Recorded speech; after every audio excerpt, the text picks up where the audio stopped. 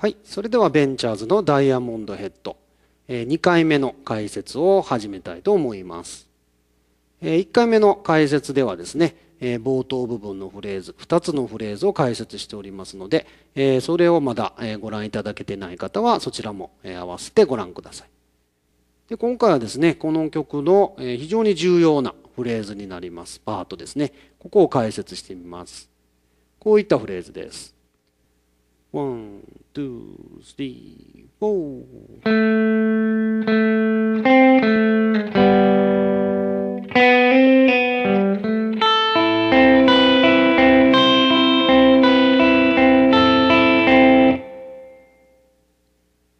このようなフレーズですね。で、原曲ではこの4小節のパターンを何回か繰り返す形になりますね。で、このフレーズを解説する前にちょっと音作りのことですね、えー解説しておきます。で、えーなかなかですね、オリジナルに近い音っていうのは作るのは難しいんですけれども、ちょっとですね、一つ、えーこういった往年のギターインスト風のですね、えー音作りのコツですね、えーそれを一つだけ解説しておきます。で、これでですね、重要になってくるのが、えー実はディレイという、えーエフェクターになってきます。ではですね、ディレイをちょっとかけていないのとかけたのとですね、ちょっと違いを確認してみましょう。えー一番わかりやすいところがですね、出だしの、この曲の出だしの部分のフレーズですね。えー前の動画で解説しましたけれども、そこでちょっと、そこのフレーズでやってみます。まず、えーリバーブだけ、エコーだけをかけた状態で、ディレイなしでやってみます。そうするとこんな感じです。こんな感じですね。で、ディレイをちょっとかけてみるとこんな感じです。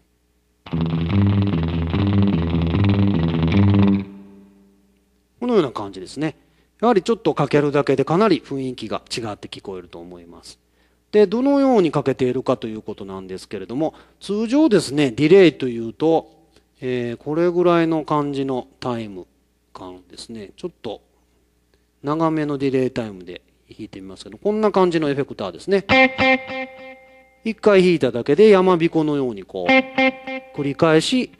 同じ音を出してくれるエフェクターなんですけれども、えーこれは今300ミリぐらいですね。ですから、えー1秒が1000ミリになりますので、まあ、それの3分の1ぐらいの長さで返ってくるように今、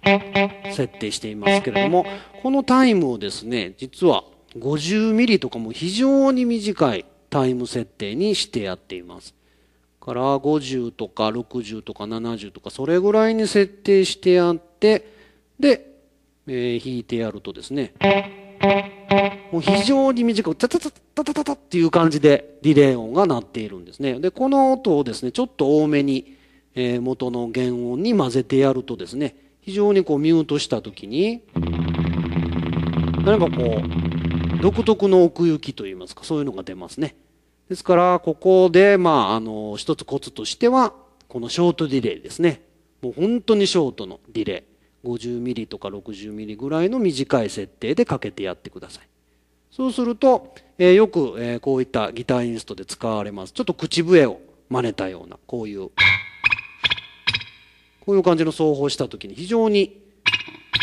雰囲気が出ますよね。で、この奏法自体はですね、爪でこう6弦を引っかえているだけなんですけれども、まあこちらももう音が出ないように蓋をしてですね、もう完全にこういう止まった音が出る状態にしておいて、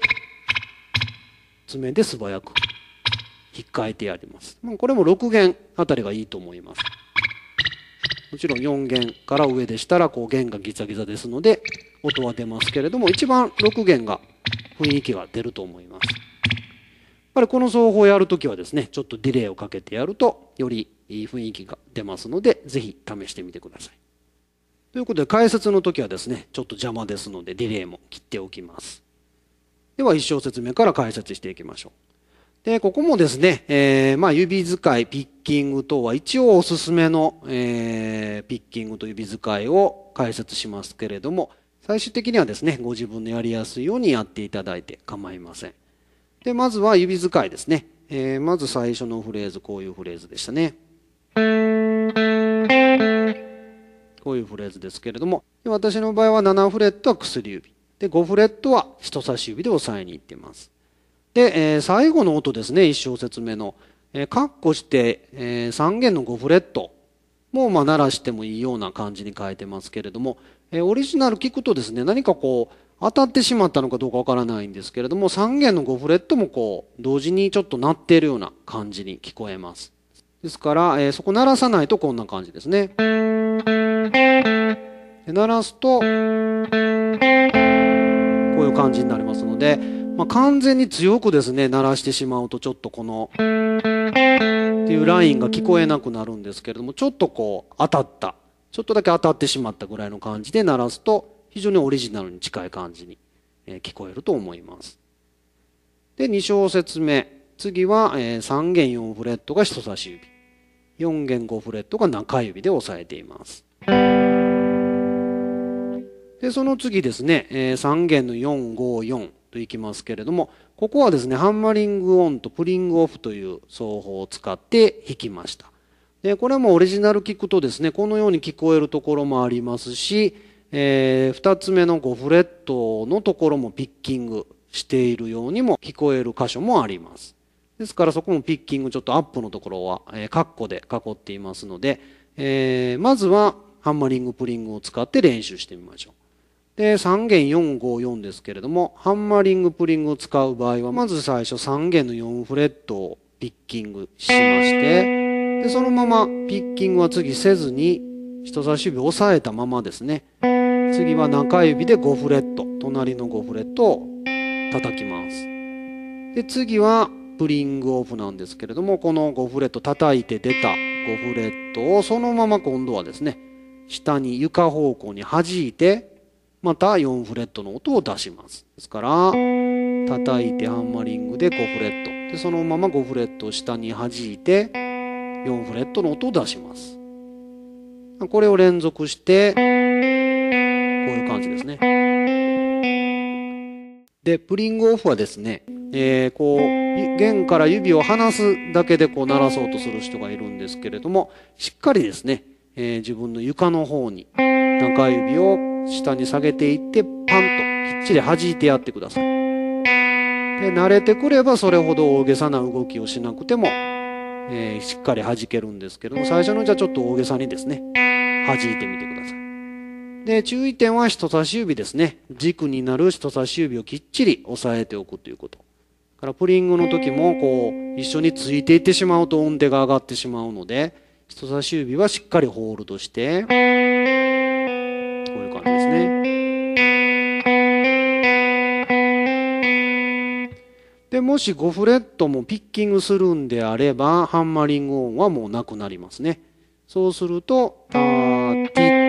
5フレットまでは弾きます。ダウンアップですね。で、その後のプリングはそのまま入れてやりますね。で、もちろん全てピッキングしても構えません。からこの辺りはですね、えー、いろいろな弾き方を試してみてください。ですからハンマリング、プリング使うと、で、次はプリングだけしか使わないと、ですね。で、最後は全部ピッキング。ですね。で、最後は4弦5フレット。これは中指でいきましょう。ですね。で、ピッキングのパターンもまあおすすめのを書いてるだけですので、まずはこれで練習していただいて、難しい場合はもうすべてダウンとかでも構いません。で、次3小節目、4小節目ですね。ここのフレーズは非常に頭に残るフレーズですね。このようなフレーズです。こ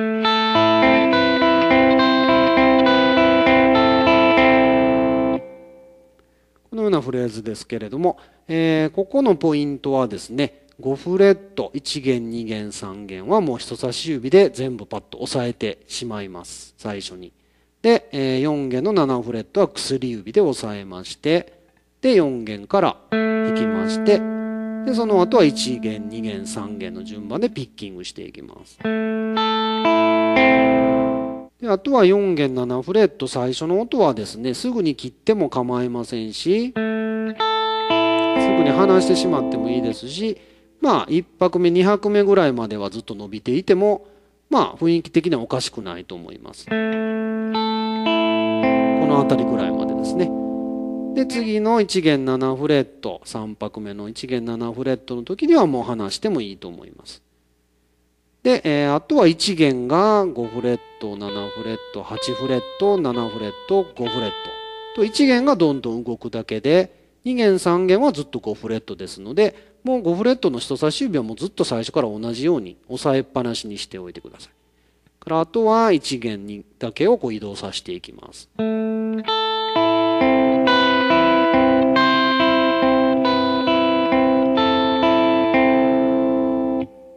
ういう感じですね。ここも、まあ、おすすめのピッキングパターン変えていますけれども、まあ、最初これですね、ちょっとスピード上げるのは非常に難しいと思いますので、まあ、これも全部ダウンでまずは弾いてみるとかですね、いろいろ工夫をしてみてください。で、あとですね、ギター演奏のスピードアップに役立つ教材っていうのを当方制作しております。今画面上にバナーが出ているとおっしゃる方はそちらをクリックしていただくとホームページの方が開きます。バナーが出ていないとおっしゃる方は、この動画の下の動画説明欄の方にホームページの URL を貼り付けておりますので、そちらをクリックして、ぜひホームページをチェックしてみてください。それでは2回目の解説を終了いたします。